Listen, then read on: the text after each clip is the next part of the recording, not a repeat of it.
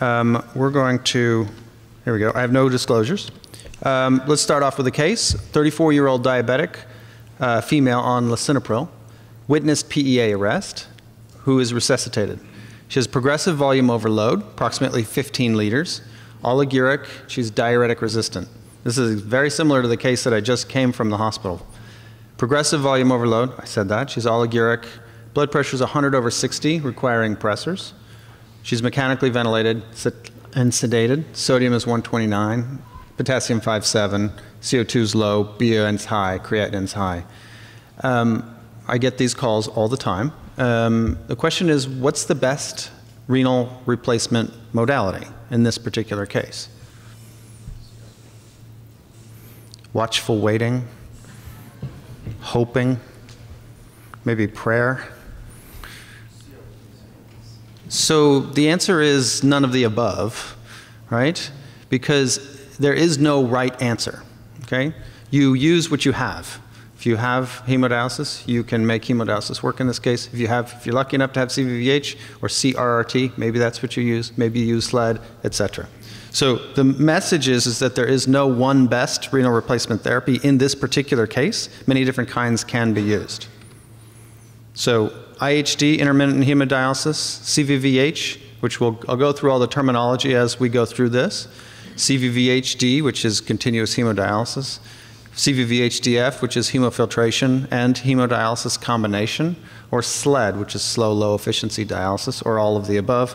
And the answer is actually none of the above. Okay, so the point is, is that, and the point that I make to my fellows, is that any patient can be dialyzed. It's not necessarily true, but we have to think about it in my hospital because the default is if the patient's sick, the patient goes on CVVH. And in many cases, that's not the right therapy for that particular patient. And we'll go through what uh, types of conditions benefit from what types of therapy. Okay, so our primary therapeutic goals in acute, acute renal failure or acute kidney injury is to optimize the hemodynamic and volume status. We want to minimize further renal injury. That takes a bit of detective work in terms of trying to identify why the patients have AKI. Correct metabolic abnormalities. The way I explain it to patients is I say we're going to, we're going to balance the acid, balance the salt, try to get rid of some fluid, and also get rid of the toxins. And the, pa the patient's family members tend to understand that. Um, I want to remove some uremic toxins, and then I want to permit adequate nutrition. Limitations of dialysis delivery in acute kidney injury is a hypercatabolic state. Hemodynamic instability makes it hard to remove fluid and control of volume status because patients may be hemodynamically unstable.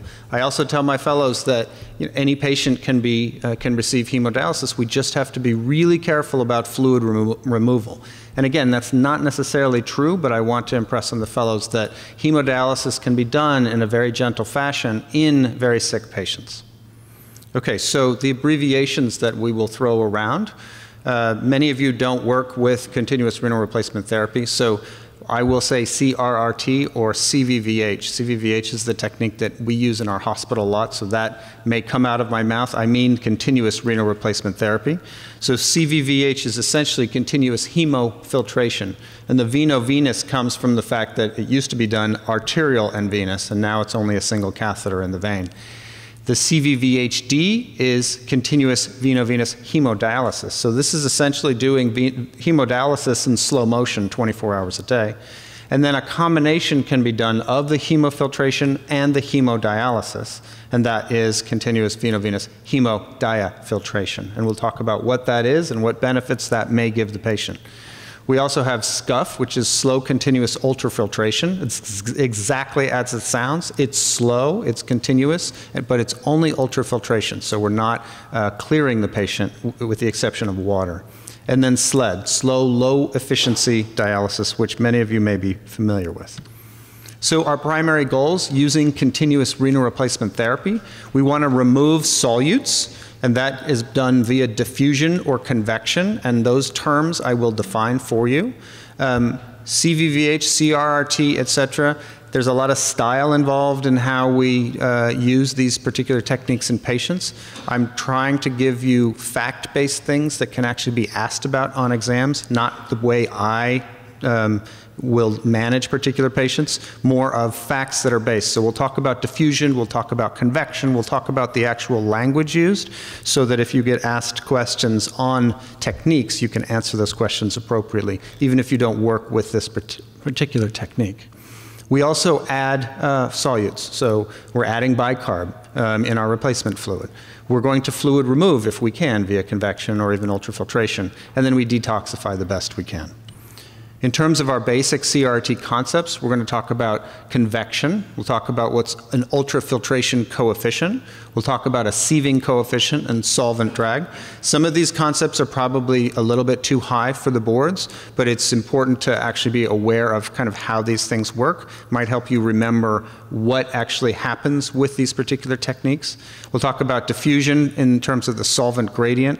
We'll talk about what an effluent is, secondary membrane formation, which is uh, what happens over time when blood contacts the filter.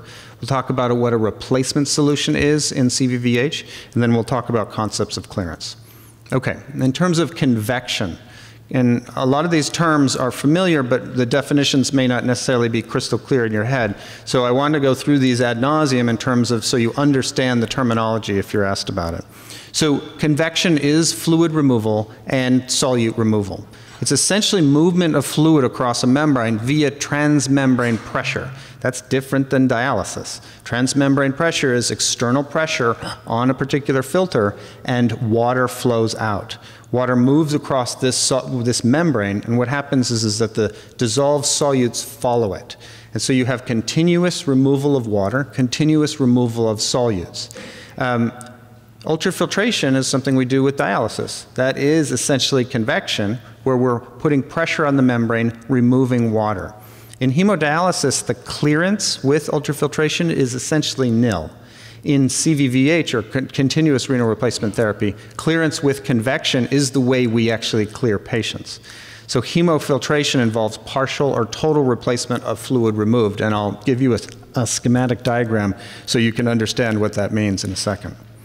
There it is. So we have our transmembrane pressure on our filter. This is our filter cut in half. If you've ever done this with a saw, it's uh, kind of fun to show your fellows. And these are the individual filtration units. This is blood within. With transmembrane pressure, or negative pressure, what happens with convection is that water leaves and then solutes follow, everything okay, with the exception of proteins that are retained because of the membrane size. And so we have all of these things that are leaving the circulation, which when I ask my stu medical students, is that good to remove everything? They say yes. And I said, really? All you're going to do is remove everything? And then they realized, no, that's not where I'm going with my question. So the point is, is that what we do with our replacement solution is we replace all of the good stuff, so glucose, sodium chloride, et cetera, et cetera. But we leave out these things, okay? So in terms of ultrafiltration of plasma water, there's this thing called an ultrafiltration coefficient. It's a property of the membrane. And it's the potential to remove water adjusted for the transmembrane pressure. So essentially, how efficient is this membrane at removing water? Solute removal from plasma depends on what's called the sieving coefficient of that particular solute. And that's the ratio between the solute concentration in the ultrafiltrate and its average plasma concentration within the dialyzer. So it's a property of the solute. It's inversely related to solute molecular weight. So you can imagine that small molecular weight solutes come across the membrane easier. And that's a way to kind of remember solute uh, removal and this concept of sieving coefficient. Um, so it's approximately one with small uh, solutes and highly permeable membranes. Different membranes have different permeability characteristics. Um, we tend to use only really one membrane with our CVVH. We don't pick and choose depending on the cases. Okay, so one way to remember convection is continuous renal replacement therapy, or CVVH, starts with the letter C. And this word starts with the letter C. Good. Very good. And so that's one way, one simplistic way to remember the fact that convection CVVH. When we go to dialysis, we're talking about diffusion. Diffusion starts with a D. I know it's simple, but it helps to, at the very beginning, to think about the differences. And diffusion in and of itself is movements of solutes down a concentration gradient. You're very familiar with this in terms of this is the way dialysis works. It's across a semi-permeable membrane. We did experiments when I was in high school in, in terms of these little bags of, of red fluid, and we would put these bags in larger bags and see the diffusion. And essentially, what we were watching was dialysis. Solutes cross the membrane from the blood to the dialysis fluid compartment via semi-permeable membrane.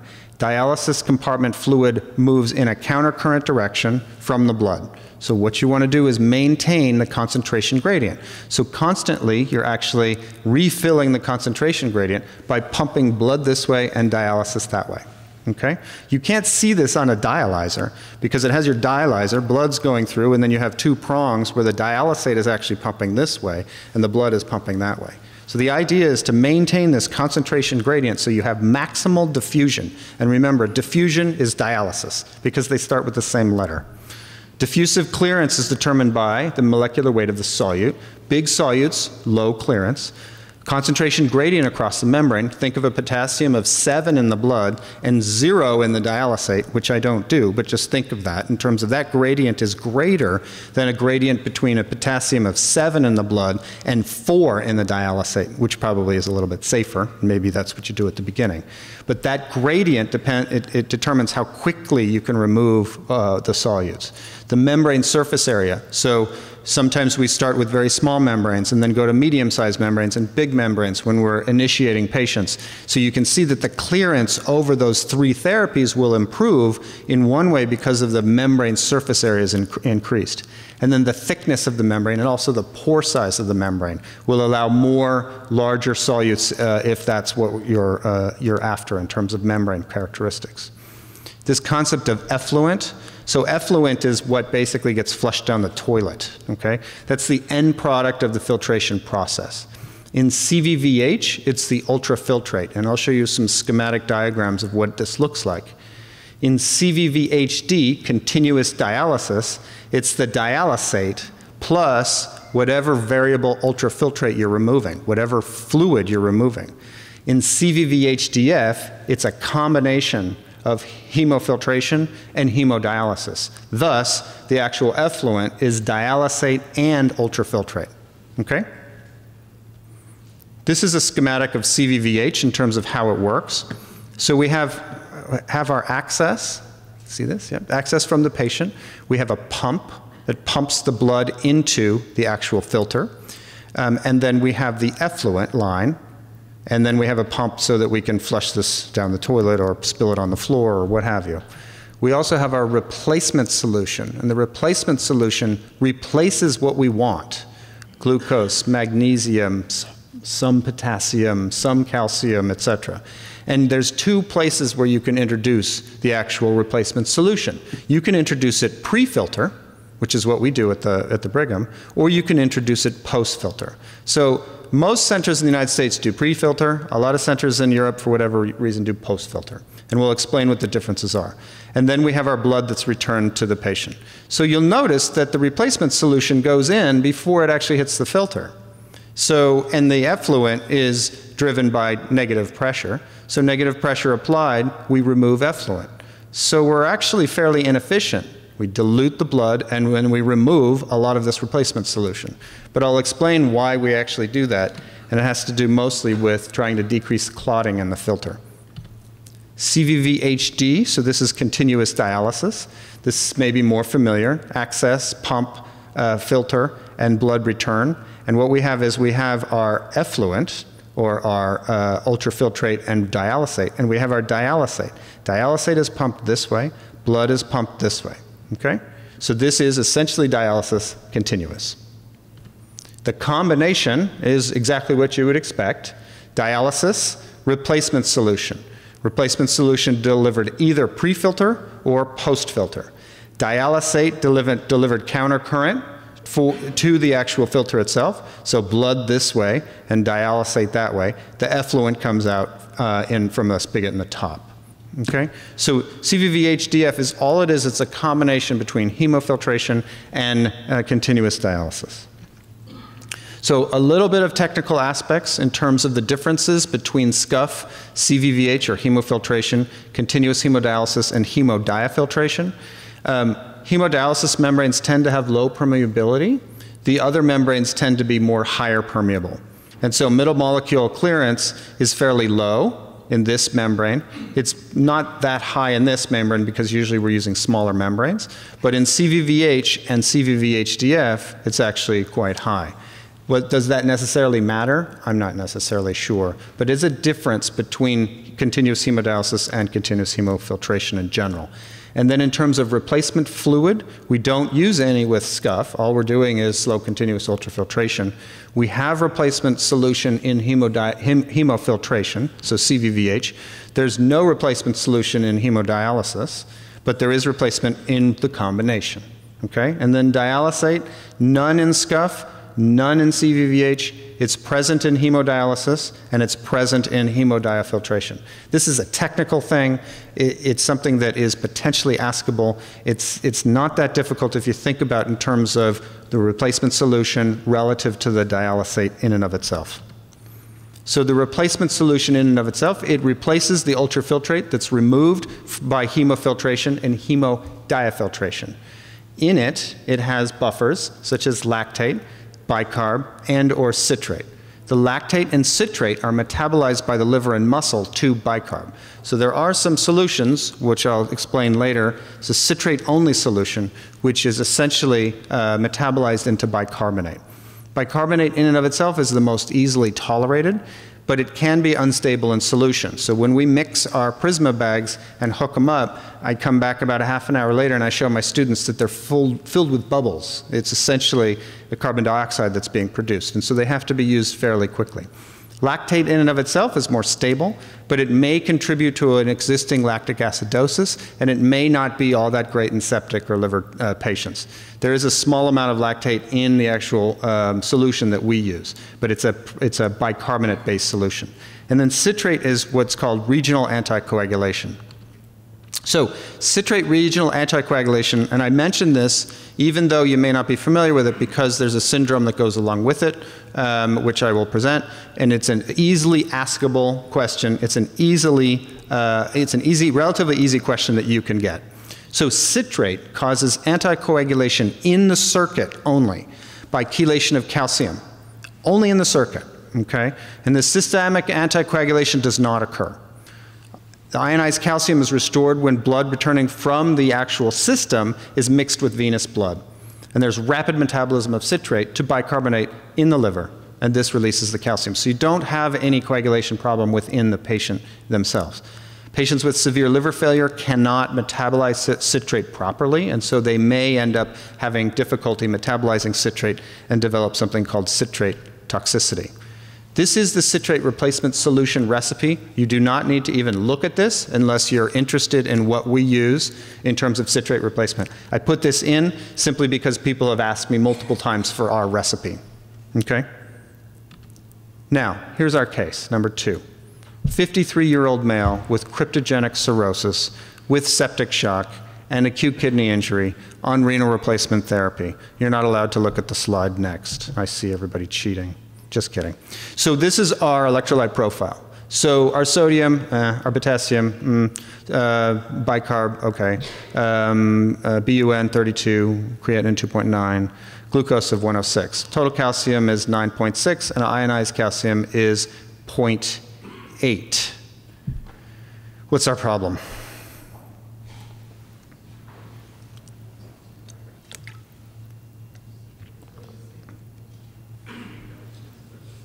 Say again?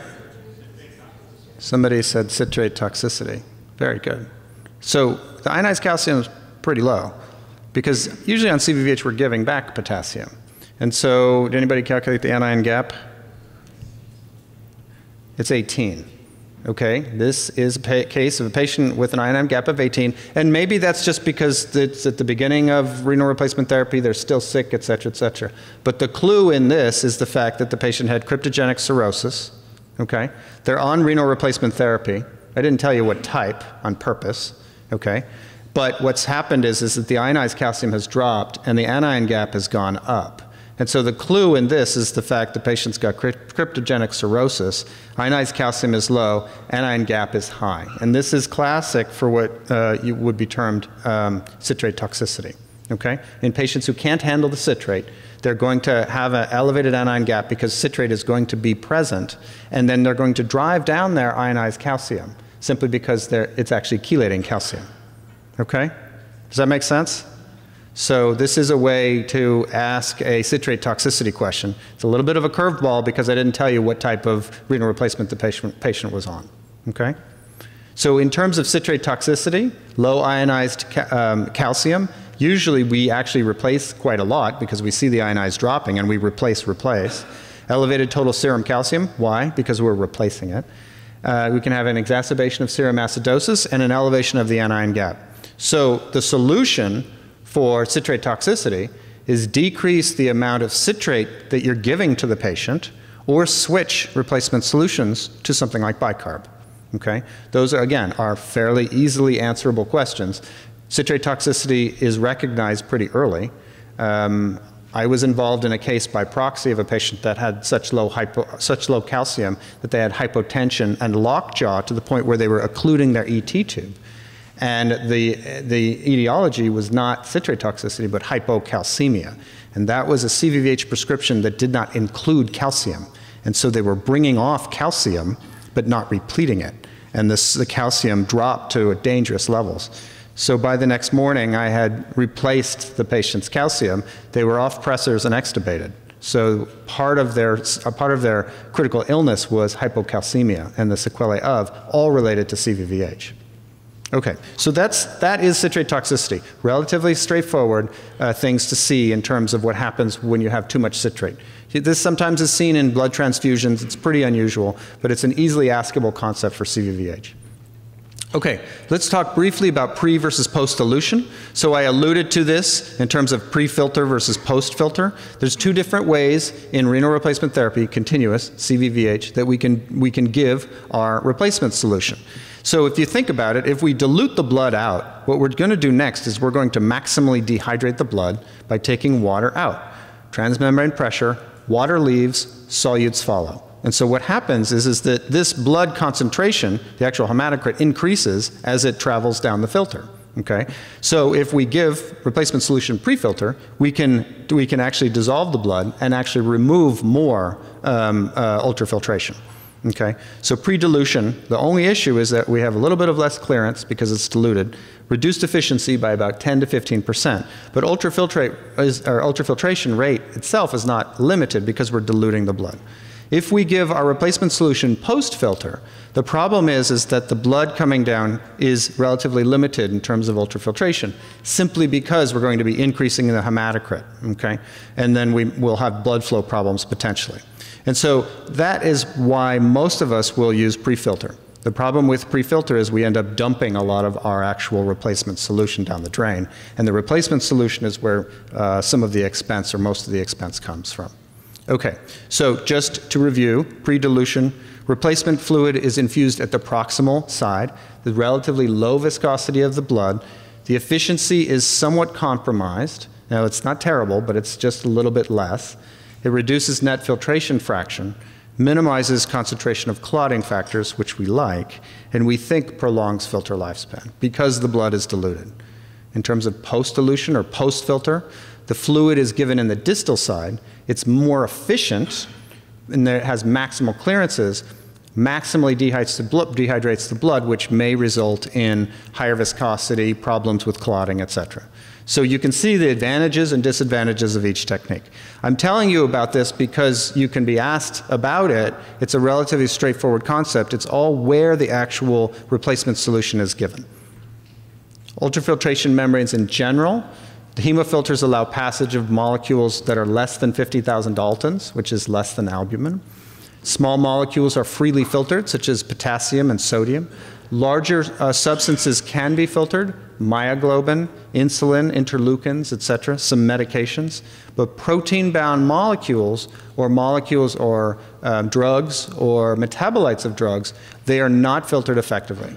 So I, when we have a toxicity case, I get asked, can, can molecule X or medication X, can it be removed? And I say, well, what's the property of the molecule? Of course, I'm looking up online whether it can be removed.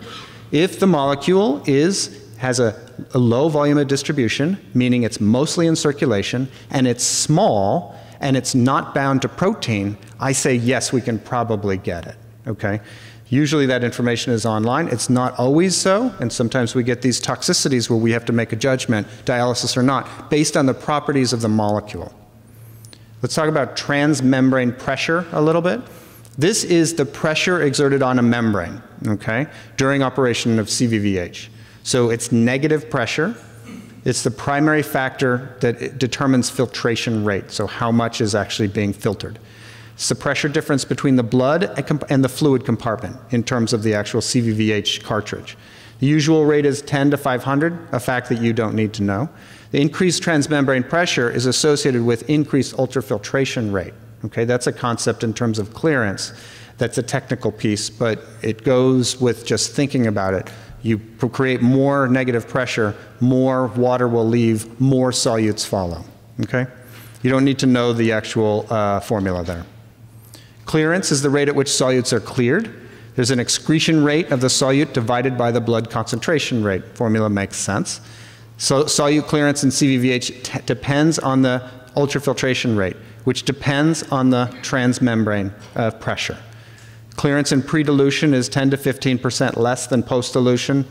Is clearance in CVVH patients all that important? It's debatable, but probably not. And then pre-dilution mode, we talked about, uh, we can increase uh, clearance in this pre-dilution mode by using larger hemofilters, so more surface area, and also a high ultrafiltration rate or a high transmembrane rate. Okay, so we can make up for this not so great clearance, 10 to 15% is not that bad, but we can make it up by running the machine harder. So strategies to increase solute clearance, increase transmembrane pressure, increase filter permeability to water, so change the type of filter, increase filter surface area, change the type of filter, or increase blood flow. Simple things, increase transmembrane pressure or increase blood flow, as opposed to changing the filter. Or you can do a combination of adding dialysis to your hemofiltration. So if you have CVVH and you need to increase clearance for whatever reason, you can add dialysis. And you put them together and you'll have better clearance. Okay, does that make sense? So better clearance with two modalities. Hemofiltration, which is convection, and dialysis, which is, somebody said it, diffusion, exactly, because they start with the letter D. So briefly, secondary membrane formation. Essentially, the more you use a filter, the more proteins, et cetera, bind to the filter, the decreased uh, clearance over time for that particular filter. The filters that we use for continuous renal replacement therapy, they have an interesting limit. It's the amount of blood that hits the filter, not the number of hours, but it's the number of hours for the blood flow itself because we develop this secondary membrane and the filter uh, efficiency drops. So let's talk about some indications for renal replacement therapy. Patients who are at risk for or do have hypotension, severe hemodynamic instability, hepatic failure, CHF, sepsis, multi-organ failure, etc. The sickest of the sick. I rotate on an ICU nephrology service and I have to tell my students that we're going to lose patients every day because these are the sickest of the sick. Um, patients potentially at risk for cerebral complications. This is always a conversation I have with my neuro ICU uh, friends. I ask them, do you want me to use CVVH or dialysis on your stroke patient? Because they will have different feelings back and forth, whether CVVH is better in terms of cerebral perfusion pressure, et cetera. In general, I try to be very careful to not drop the blood pressure.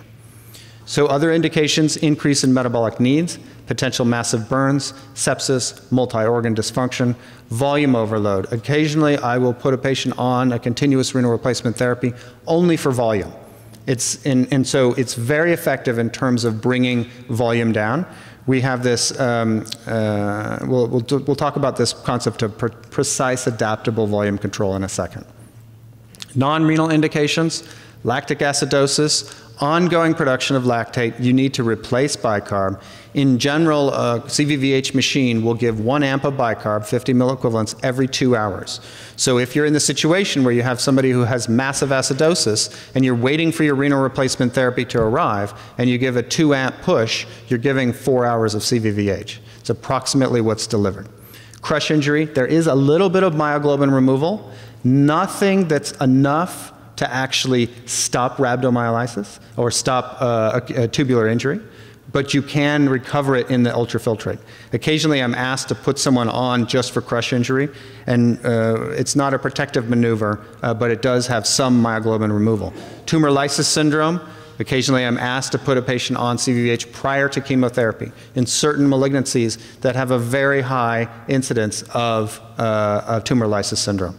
Temperature control, there's relative hyper or hypothermia that you can use CVVH on. Why? Because the blood's exposed, and so the actual temperature of the patient drops by half a degree.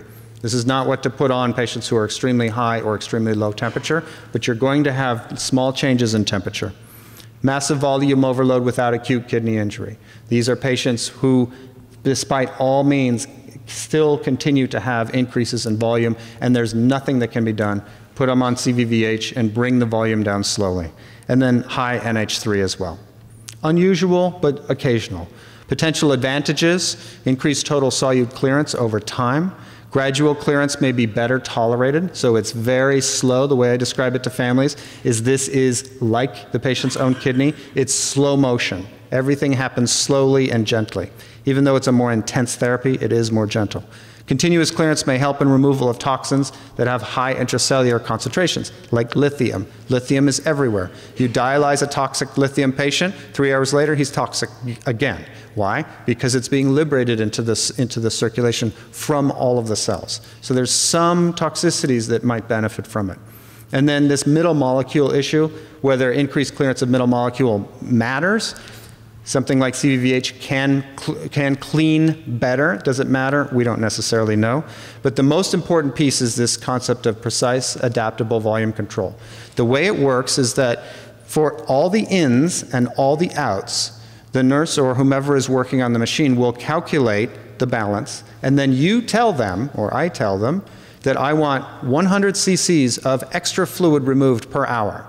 And so what that does is it brings it to zero and then negative 100 every hour. And if I do that reliably and the CVH machine is working and all the calculations are done properly, I can guarantee 2.4 liters of fluid removed per day. Now that might be too much for a patient. So then we say, okay, 50 cc's per hour.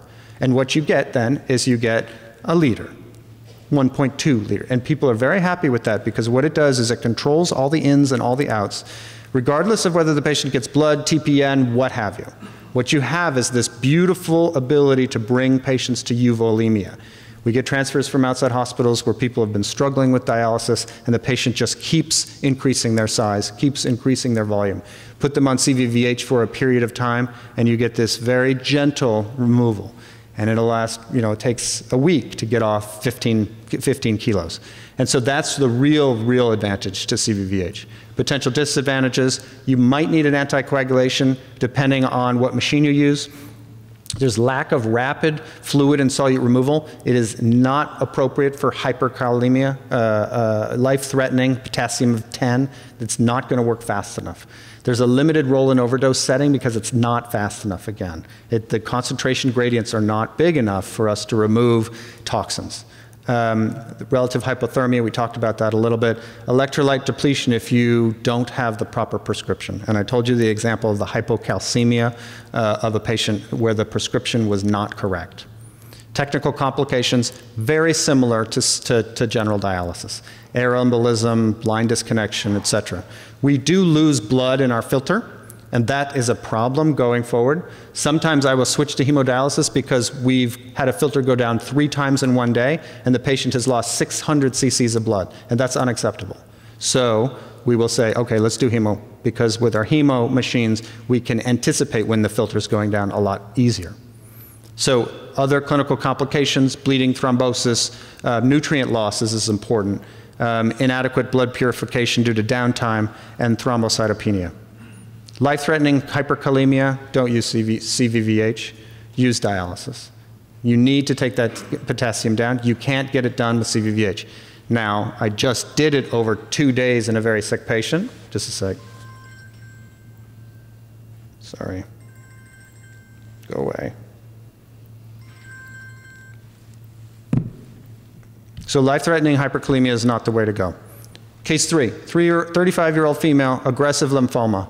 Burkitt subtype. who undergoes cytotoxic chemotherapy. She's going to. Um, total calcium and phosphorus normal. Here's your electrolyte profile. You say, why are you calling me? Right? This is completely normal. Um, the issue is, is oncology is going to ask for CVVH before cytotoxic chemo to prevent tumor lysis syndrome. Oncology asks me how the CRT will alter the chemotherapy clearance. So I look it up and I get this nice black box with no information.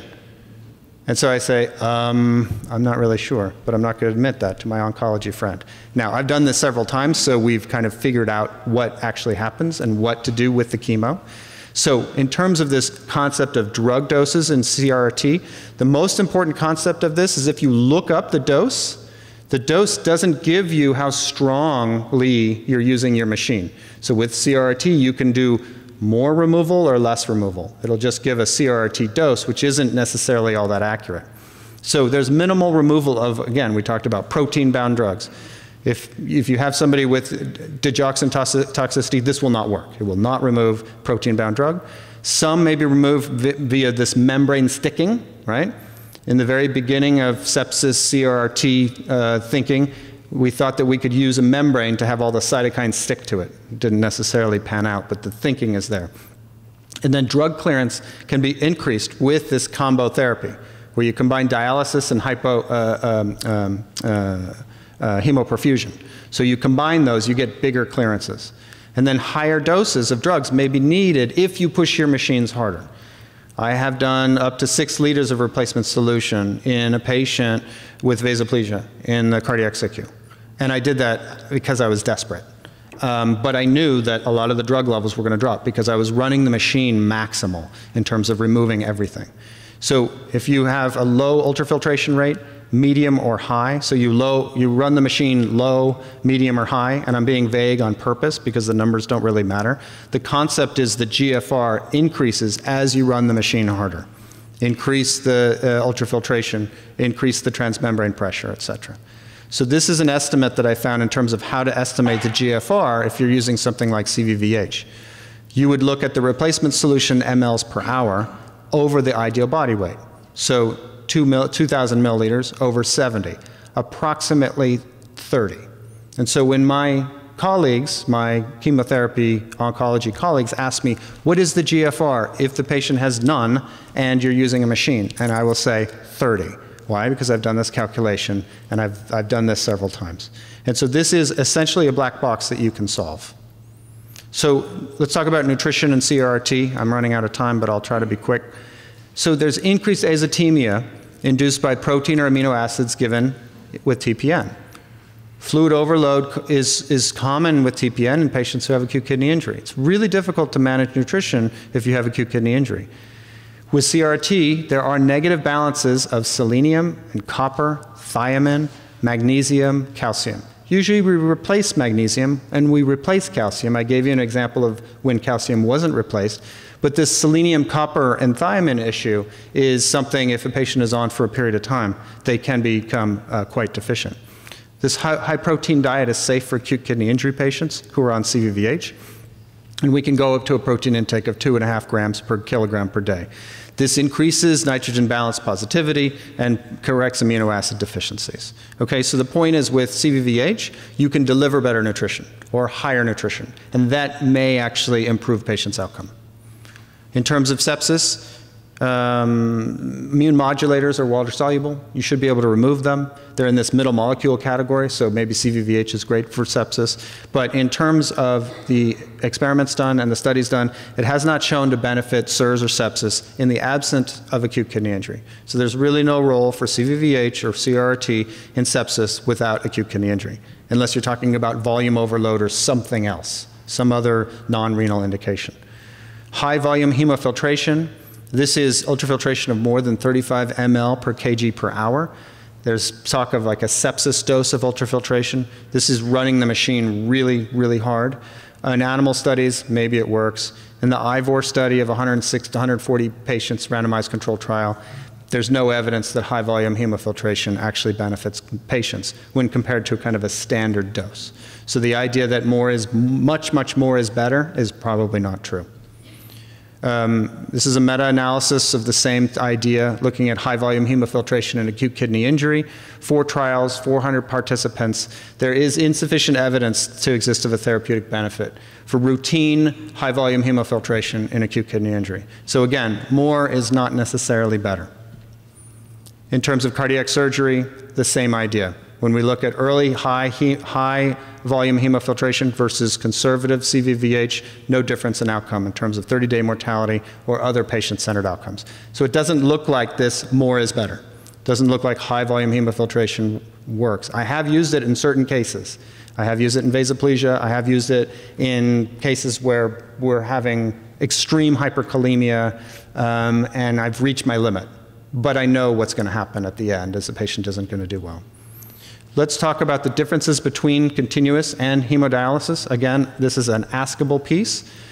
If we look at the studies from Vinsonneau in 2006, no statistically significant difference in survival when patients in the ICU were managed either with hemodialysis or CVVH. Both methods are complementary.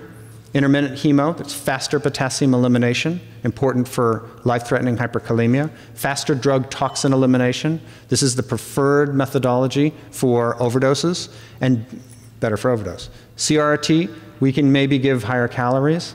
We can use an easier in hemodynamically unstable patients, especially removing fluid, and we have this precise adaptable volume control piece. Let me skip, you have all the other information there. Let me skip on to our board questions. In continuous veno-venous hemodiafiltration, so CVVHDF, solutes are cleared by the following processes. Ultrafiltration, convection, diffusion, adsorption, A, B, and C, or B and C.